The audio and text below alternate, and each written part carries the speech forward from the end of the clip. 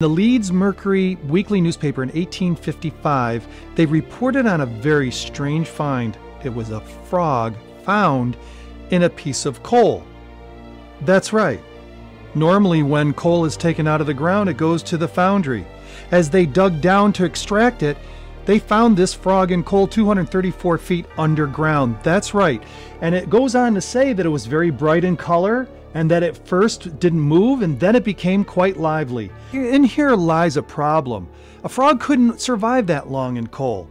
Whether you use the evolutionary model of 300 million years or even the creationist of 4,400 years.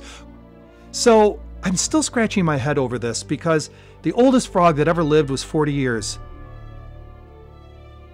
The article ends with saying that the coal was full of water and that is probably from those circumstances that it was enabled to stain its half torpid life through countless ages.